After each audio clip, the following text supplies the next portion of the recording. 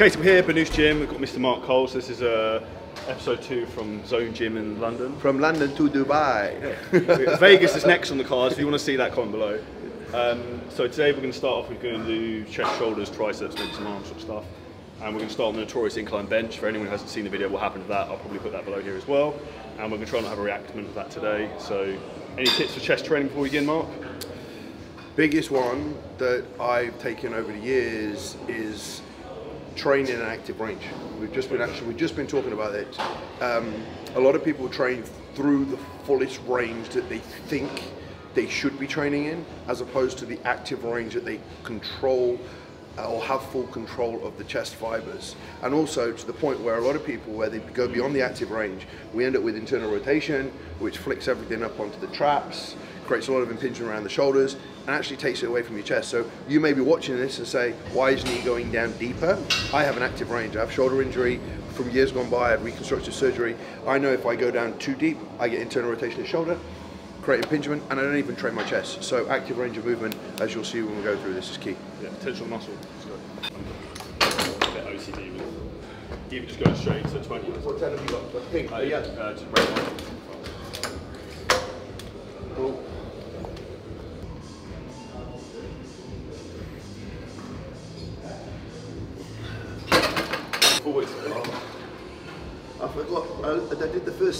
and lifted it off without realising it was.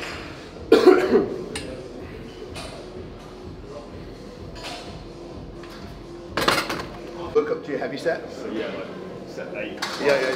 100%. 15, 20. And then, and then just doing like a slightly higher rep set. No, I prefer to do that. Are you still working around about three? Like not doing like a Three plates. Sets wise on chest. Uh, yeah, on the first exercise, and a lot of things I'll only do two because I find I sort of lose interest after two a bit, if that makes sense. And two is enough if I go balls out on it. So, so my drop off on three four now is quite significant. Yeah, I can't. My body. Yeah, yeah, it's quite significant. I'd rather vary an exercise and do a little bit more volume on any different exercises than rather just sit. Um, Do you think that? So I know what my opinion of why that would be the case is because your ability to get as much out of that exercise is so high. You can recruit so much muscle, so many muscle fibers in those two sets that anything more than that, there's just nothing. Well, yeah, exactly. So, like for me, if you do that top set, regardless whether it's eight to ten or three to five, there's a high neural level recruitment from our perspective when you're lifting heavier. So, therefore, for me, what I tend to get is that heavy set. I get more out of that second set, dropping the weight a little bit and doing some slightly higher reps. Right, so I get, even though it's an 8 to 10, I, I, I find that once I get to that top, let's say top set, the heavier set, when I do the second one, I can go heavier for more reps. But then that third one, it's more of a significant drop off. I don't see the, va- uh, the added value. But if I wanted to do three sets, I'd probably not go as heavy. So I'd rather try and get that heavy one in.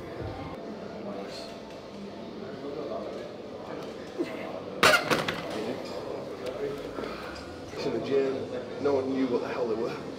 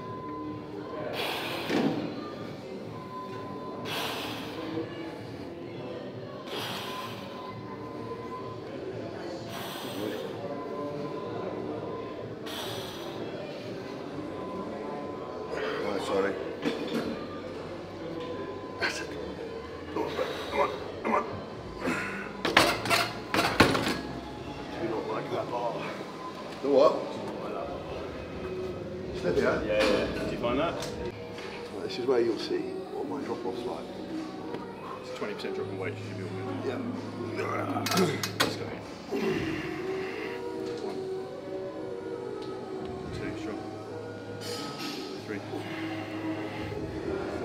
Easy. Step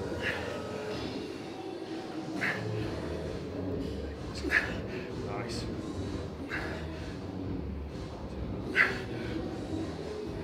All right, let's go. One more, let's go me over the edge. Woo! That's fucking ropey. There's no that foot plate. Where did is like go? short. Yeah, a little bit. Because they're dancing shoes, Charlie. No, they're, they're, they're on, the, on the platform, Charlie's like this. fucking fucking. That's what's nice. They're trick, aren't they? I tell you what, I'm going to a black and gold theme tonight. I'm going to wear Charlie's trainers. Feet are small.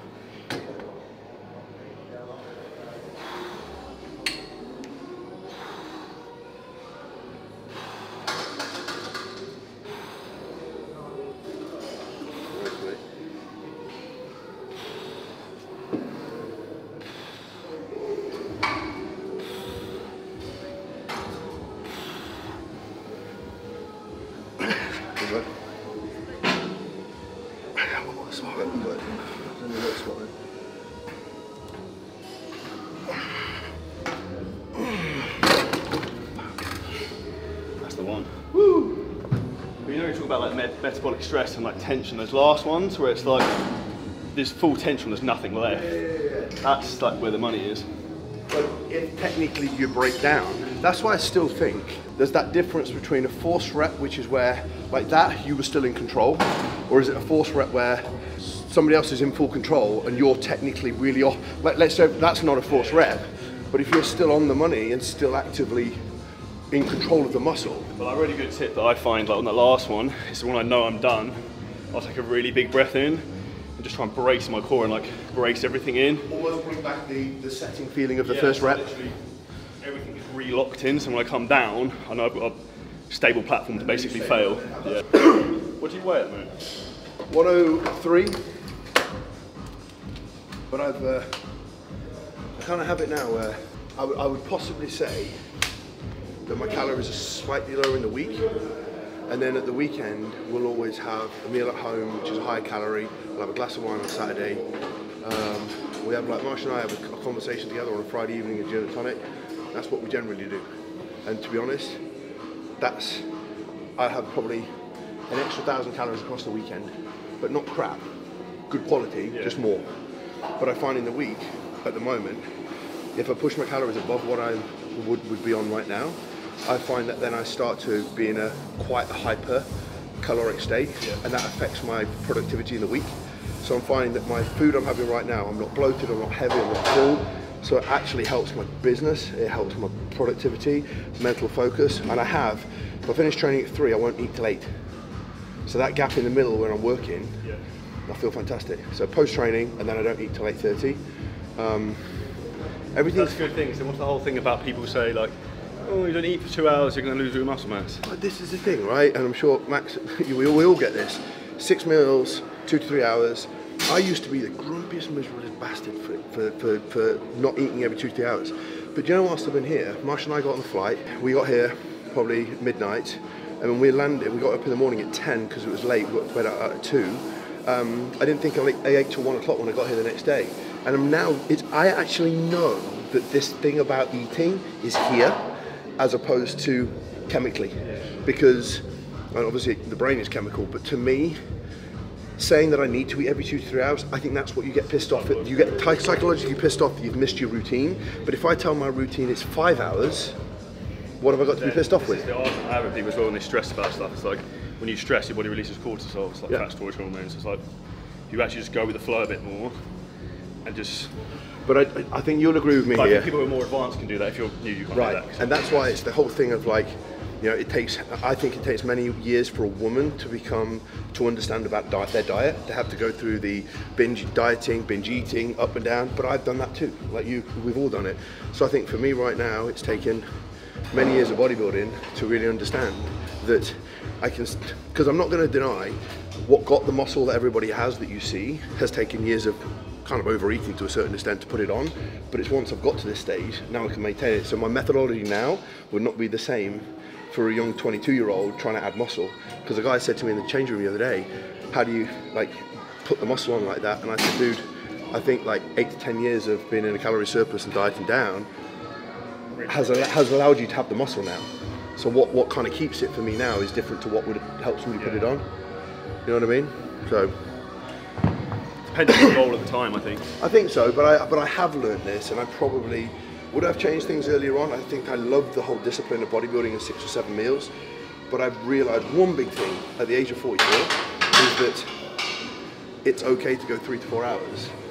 Nothing disappears. I fasted for 24 hours on Monday when I flew. I always let it fly. And you feel fine, right? Yeah, I might feel way better for it.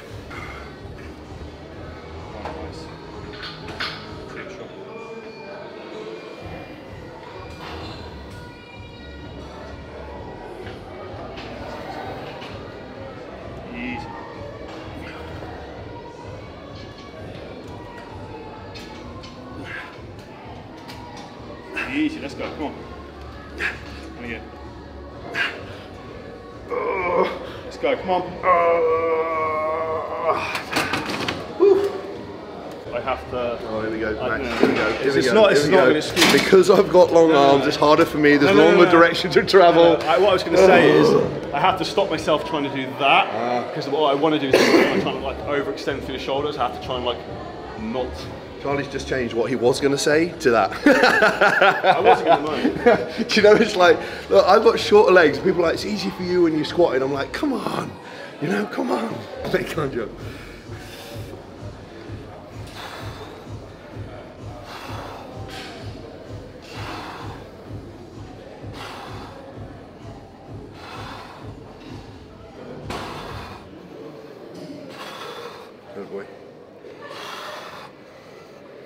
Ref, Charlie. Come on, bud. Now work, work, come on. Get it. Yep, get this, get this next one. Come on. Let's go. Yep, finish it. Come on, come on. You have got hood in you though, haven't you, Charlie? Look at Max, Max has as well. I should get him in the camera. Get him in the Yeah, yeah. Look at that. Come on. Max's hood. There's me. There he goes. Oh yeah. Mark, Mark, showing his age. There's me. Mark, Mark showing his age with his sensible Typically clothing. British. Typically British. Standard black.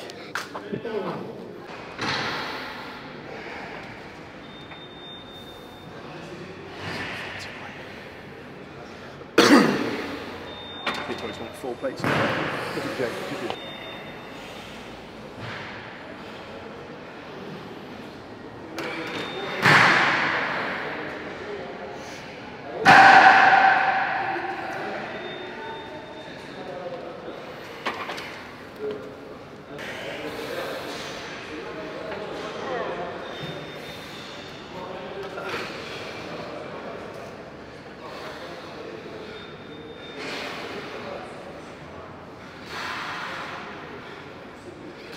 Good boy, Charlie. Come on.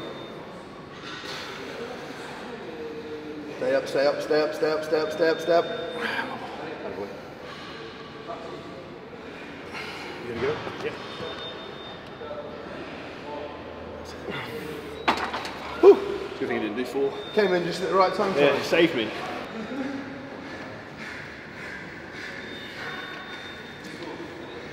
Easy.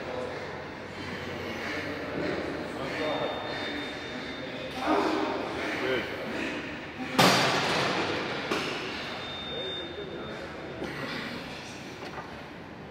Let's go, Mark. Drive, drive, drive, drive, drive. Tell you what's all-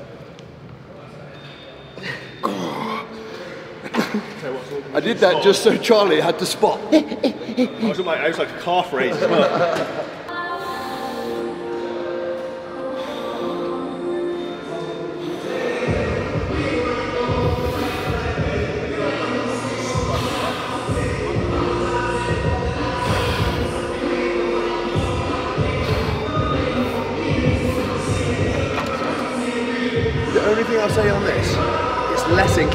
So that so even though you are lying at an incline, it presses at a mid chest. And I would say that it needs to, to, to actually say it's an incline. I think it needs a little bit more, a slight, a slight, a slight arcish, so you can actually come into that position.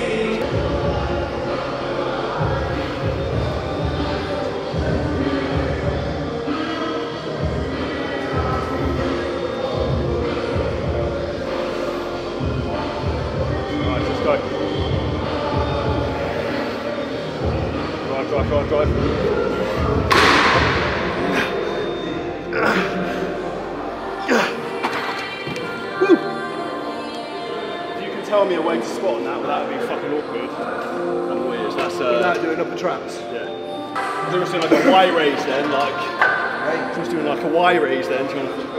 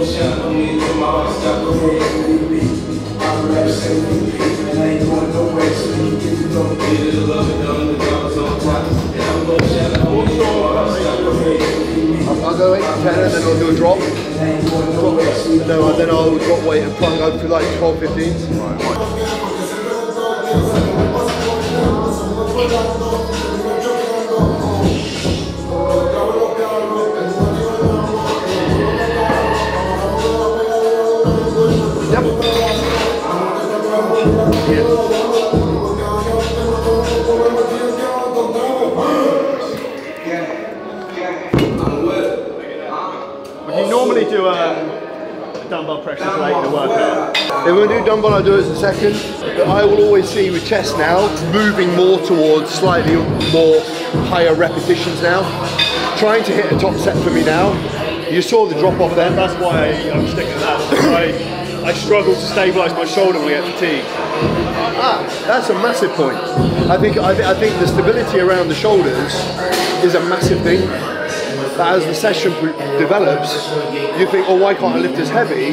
Those stabilizers are getting shattered. aren't they? There's too much horsepower, no steering wheel. I can't.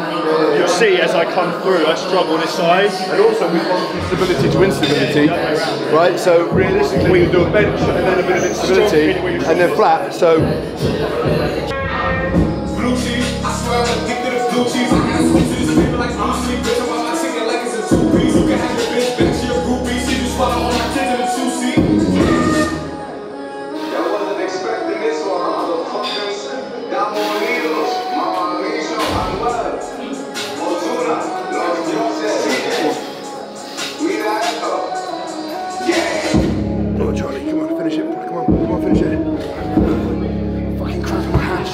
hamstring. I get loads of cramp with the fucking Charlie, Charlie, Charlie is the shaker.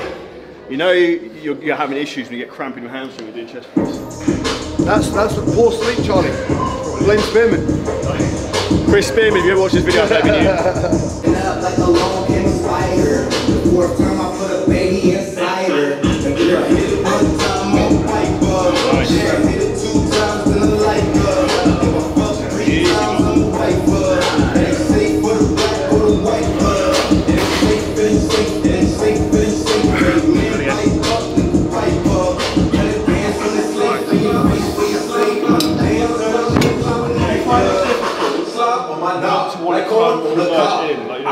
trying to out. Mentally, I'm designed to the point where I don't see the value in it. Agree, like that, that, you know I was saying earlier about hyperextending the shoulder? Like to me, I see the value in this because if I get to here, there- there- there's nothing. You know that. But I think that you're right in what you said. The conditioning mentally to get to there and not feel like you've got to finish it. Naturally, on a cable fly, I would, or a pec deck. But on this, I know that the value for me in the exercise is there to there. I always sounds weird when we're trying to think about driving out like a channel Yeah, yeah, and keep try and stay out. in that groove. And it's like, I think people think of a shit, a chest press is shit when it finishes here. I'm like, but but if it came into here, there's nothing. Uh, Charlie was here. Leave your mark. Yeah.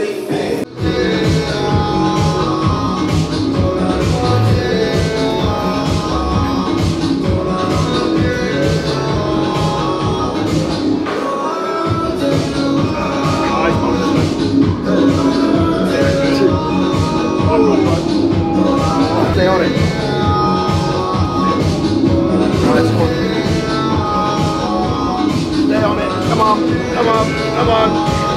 Woo. Press and then do and then do like a tricep for uh, rear delts and laterals and fronts. Yeah, that's one you lead. Yeah, I, I like like if you do like a try a front and a rear delt, but we'll do a shoulder press first now. Swole Nation. One day. We'll get as big as you, Mark. Charlie. I've got, I've got, 12 years to catch it. I'm all I'm trying to do is anti-aging. I'm muscle retention.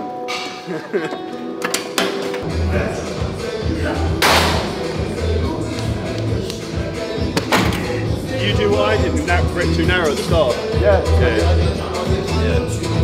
It's a big thing with a lot of people with uh, shoulder presses. If it feels very much like it comes in, you need to come quite wide. That I think in particular. I go wider so my triceps don't get even bigger.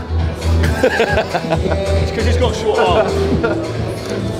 I think I think I got to about I got to about 37 and my triceps went. I think I'll start growing, and then at 44 they stop.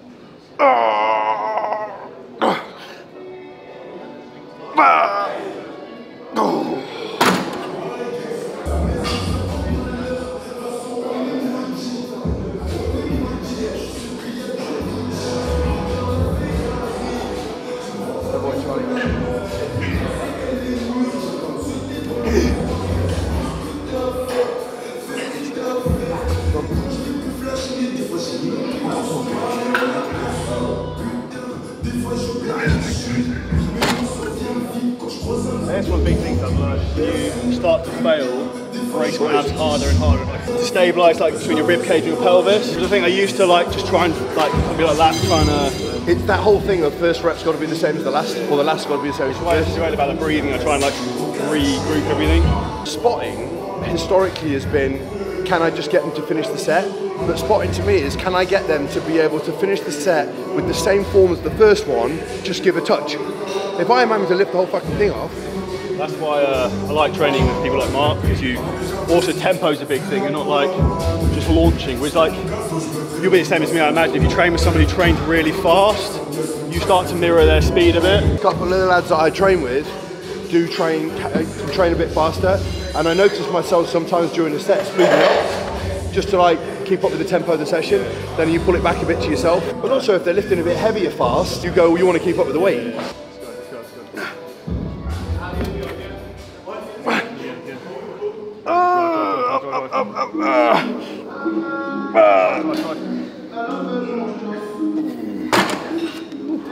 Do a standing, do a standing machine laterals, and then do like a mid lateral with a rear delt or something like that.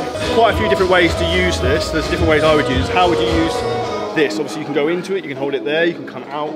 I, I go, That's how most people in Dubai use it. How would you use it, Mark? Personally, because I think there's a couple of ways here, I'll do a set where I'd come and get as short as I possibly can with control, and then knowing that that weight up there, most machines won't drop off fully. And then what I'll do is I'll put the weight up a little bit, and then I'll work the mid range. So I will extend the set for maybe 20 reps, probably get 8 to 10 at the top, take the pin out, make it a touch heavier, and then go through the mid range, personally. Because I, I think that if you do all the way to the top, then you'll get fatigue. Yeah. Or you can use the same weight to the top fatigue and then work the middle. I quite like this coming that way and then going arms straight Okay, and then coming like there. okay.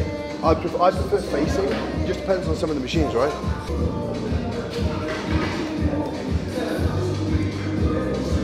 Good boy, Charlie.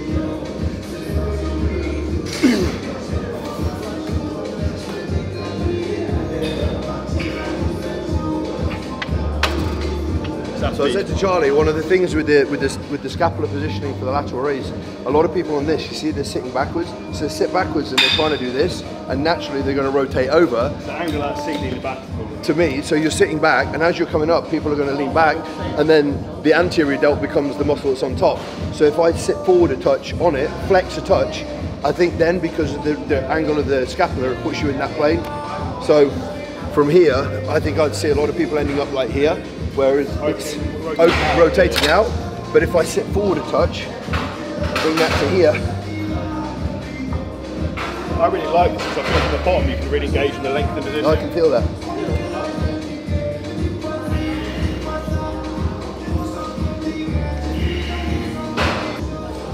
Attaboy, come on, come on, come on. now go partials. But just keep it on them, keep it on them. There you go. Now up. Yes. Keep it on. On, go on. Couple more. Come on, push out hard. There you go, Charlie. I thought we were going to see Meathead Nation then.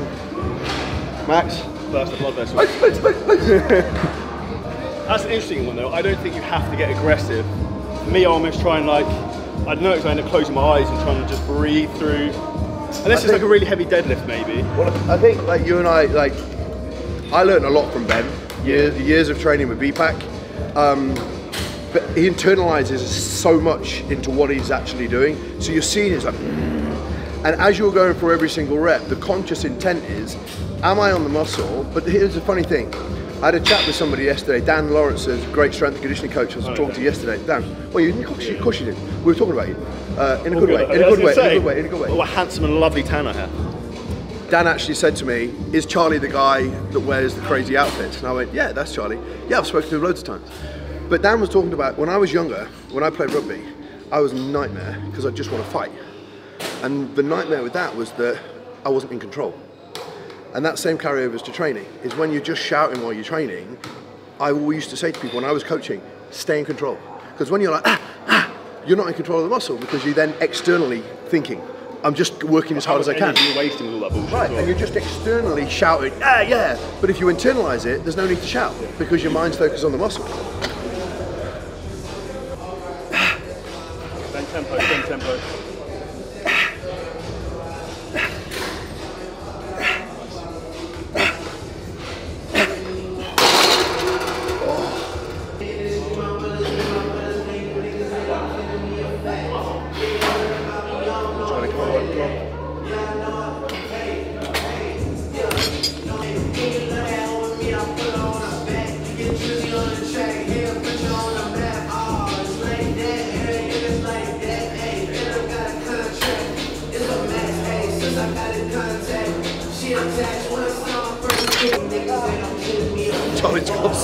Some kind of are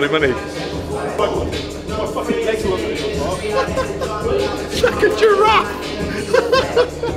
a gold- gold-plated giraffe. Gold-plated giraffe. I love it. As the set, gets harder, you'll hear him go, oh.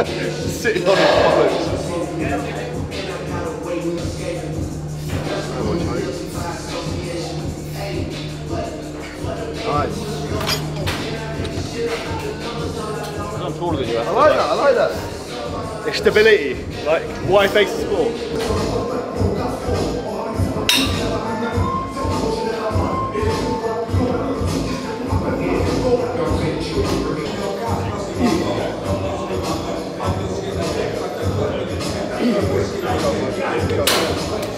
Get it. Hit the partials, hit the partials. Five. One, two, more, three. On, wider. Four.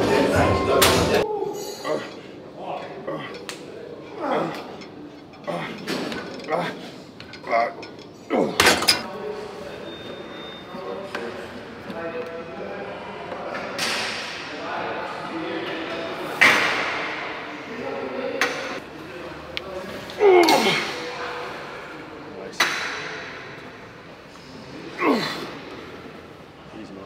Drop, drop, drop, drop, drop. Can I ask, is there a reason you think I come up further than you?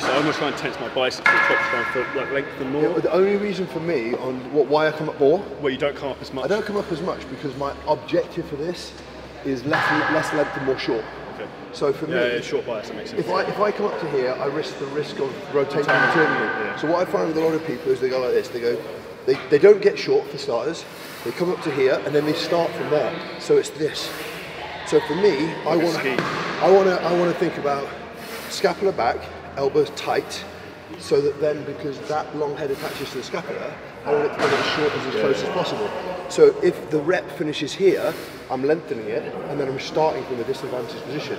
So I want to lock into that position there, get short, come up mid-range. It's like you and I were talking about. There's no point doing a bench press to there. Are you almost trying to like externally rotate there I'm trying to pull the you- scapula yeah, yeah, in into there and the long then head down. into that pin. So th- th- th- this is why I always say the triceps are inherently fucking weak muscles.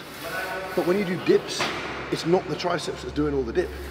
So for me, to, if you've got a lagging tricep body part, you think that isolation is not a compound exercise, but you need isolation to feel them because the triceps are going to be working less on a, on a dip if the triceps are your weak link. So your chest and your shoulders are going to do all the work. So if your chest and your shoulders are stronger than your triceps, there's no point doing a dip because you're going to move towards the advantageous muscle. So what I found when I was bodybuilding on a back to bar, I had no wrong head but I was doing dips, close grip rest press, the whole lot. Then when I started doing these, and then I started to doing lengthened exercises in isolation, they grew. And then you can bring them back in to close presses and stuff, in my opinion. But that's, you know, a thought process.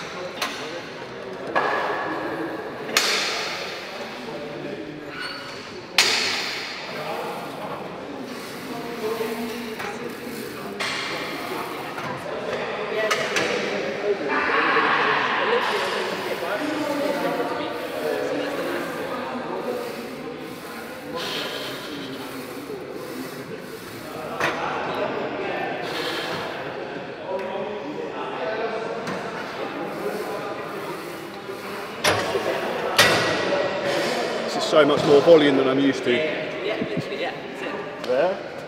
Yeah, yeah, yeah. And then, um, so I put a bit of a stretch on, on, on there. I've got 38 for this.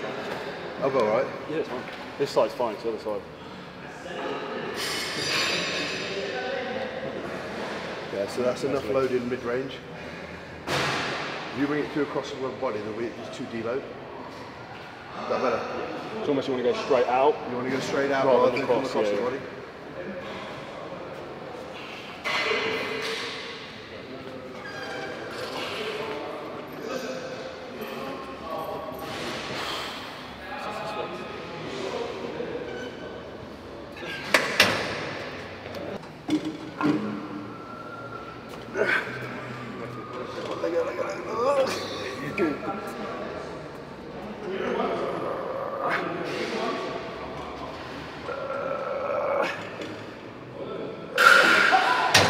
What are you, what are you doing with your diet? Uh, so after I got surgery, I just trying to bring the back something we start starting to pull off body fat, but it's that difficult thing where I had six weeks of no training. I didn't want to clip my calories. So you let a little bit of body fat accumulate during that Yeah, time? to, to Yeah, retain get muscle mass. So I, had to, I kept my fats higher, Yeah, because I a um, lot of people would naturally drop their calories but then you just whittle and then you just whittle away. So you allow a little bit of body fat to go on. maintain muscle mass. So this enough. is the trick. So you get in, if you were in a massive calorie surplus, then naturally you bring it down a bit.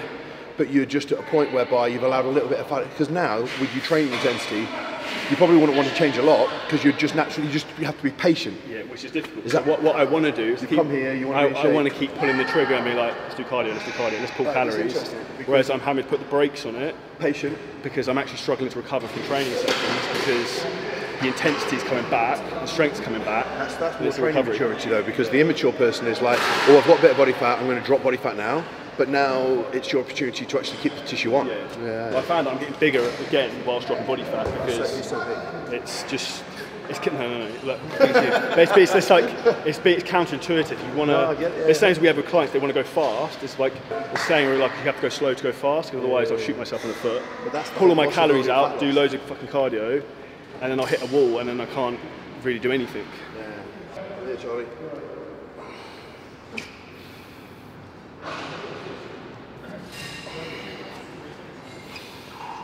The shake there.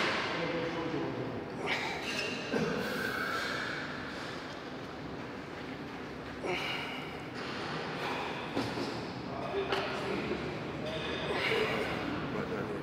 Slower, slower, slower, slower. No, initiate eh. there. That's one. Go again. Go again. Go again.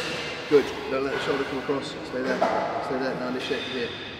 There. Keep it there. Keep it there. Keep it there.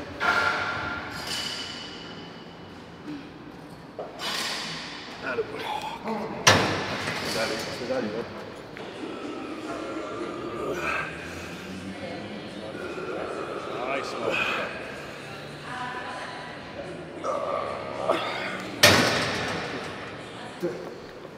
We grow the most in life when we're doing the thing that we're most inspired to do, right?